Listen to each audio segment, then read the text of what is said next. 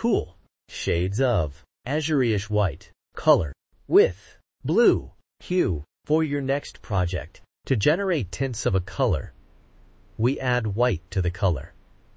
And tints creates light and exquisite emotions. To generate shades of a color, we add black to the color, and it is used in patterns. 3D effects, layers and shades create depth and drama.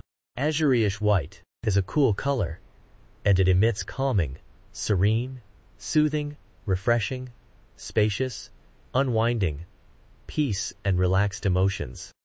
Cool colors are like water. Ice, sky, grass, soft and snow. You can see them used in baby products,